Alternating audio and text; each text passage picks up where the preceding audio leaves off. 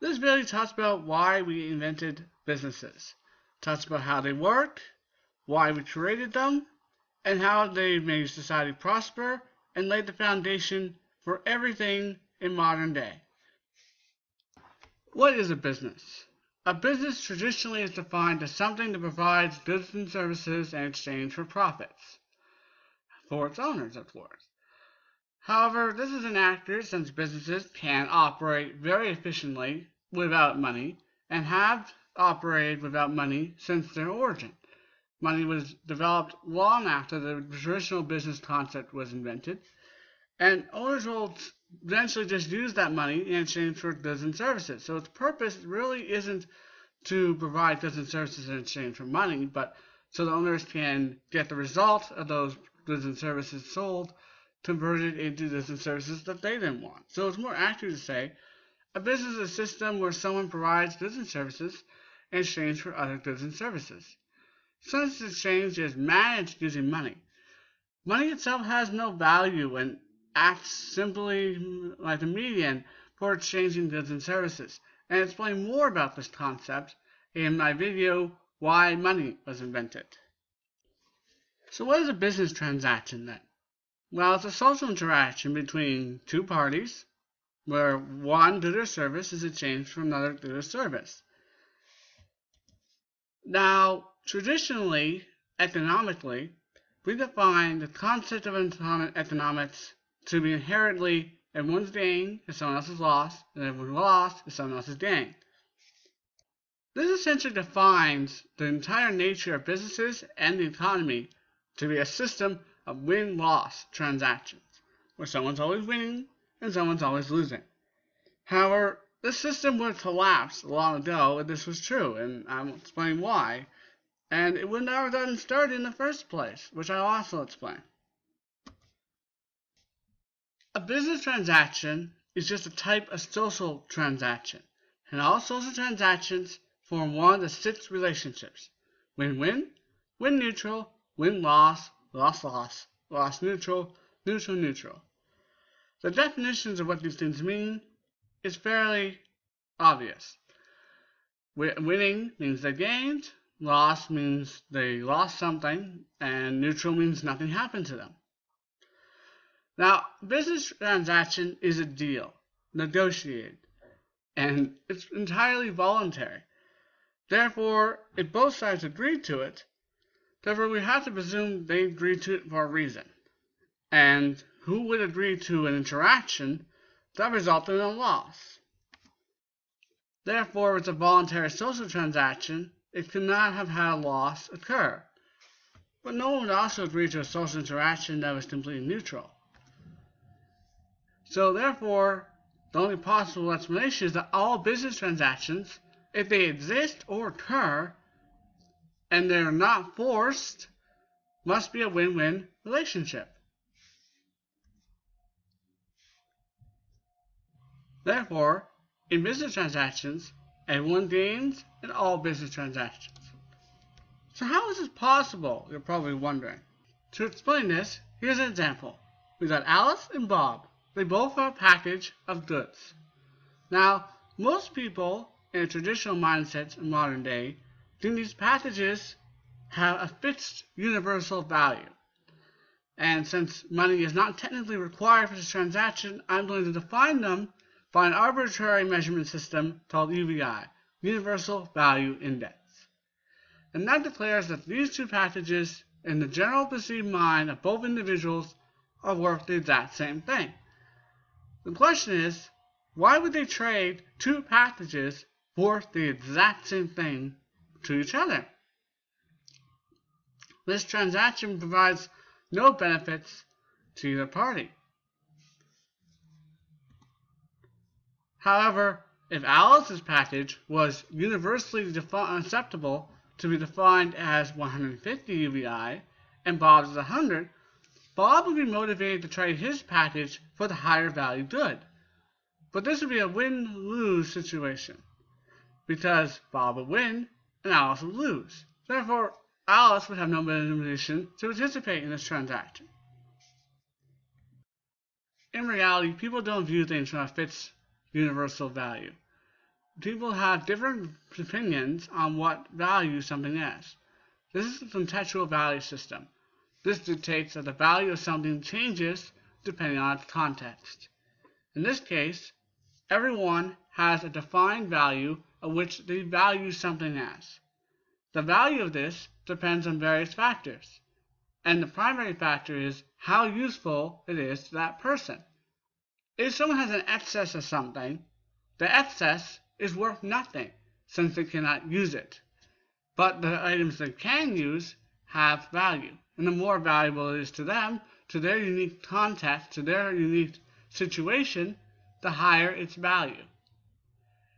Items have, therefore, two values their personal value and their trading value.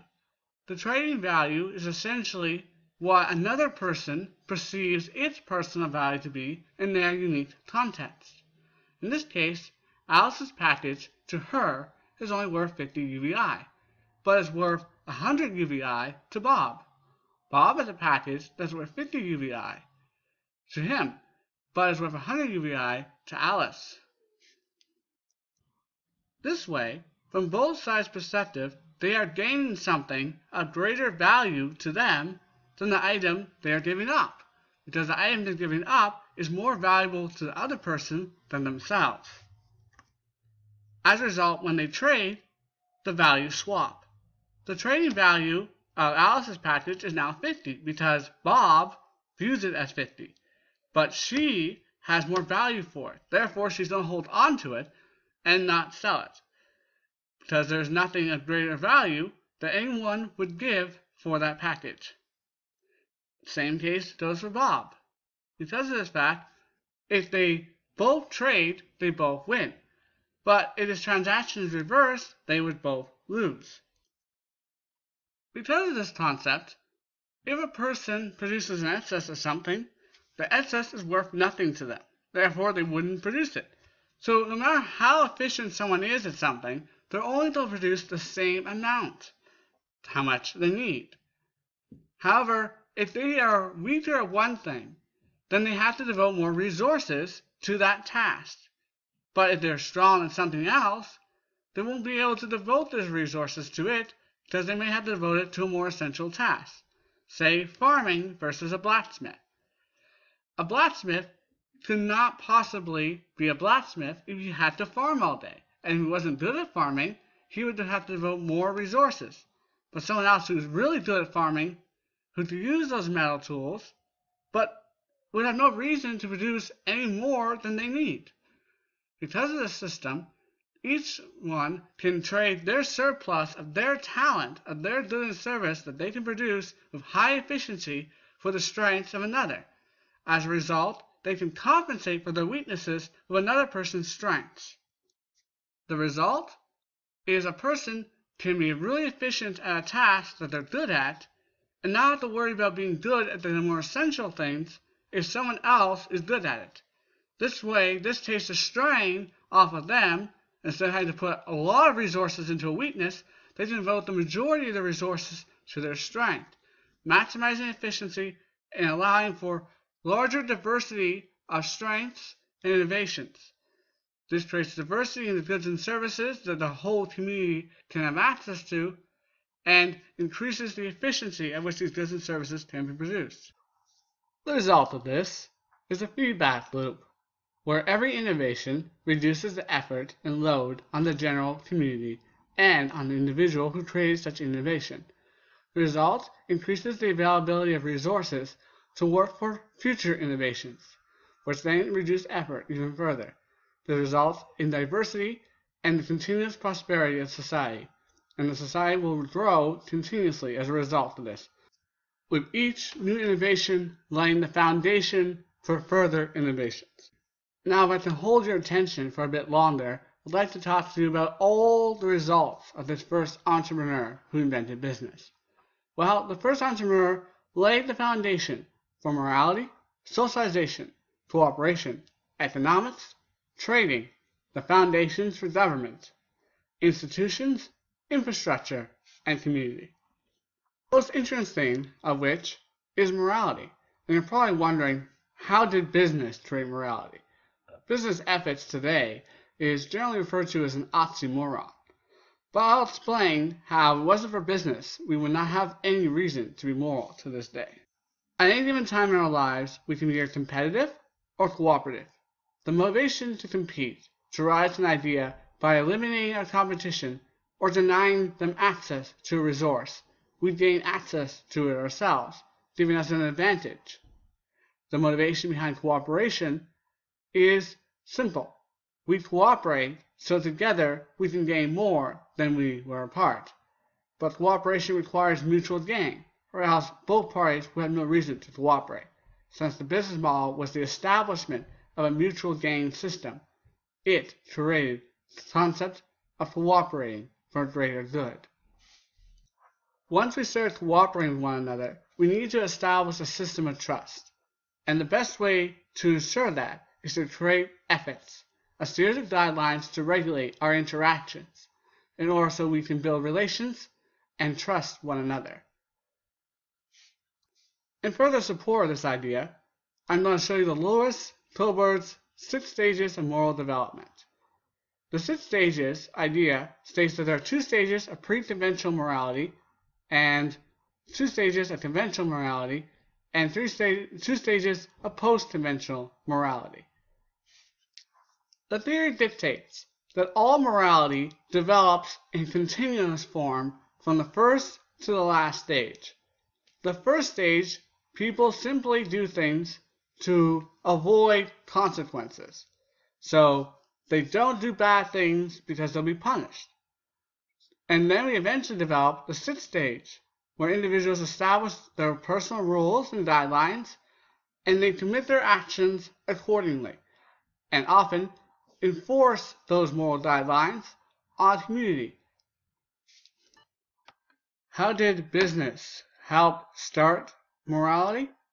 Well, it kick-started stage two morality, which is to do stuff for others for personal gain.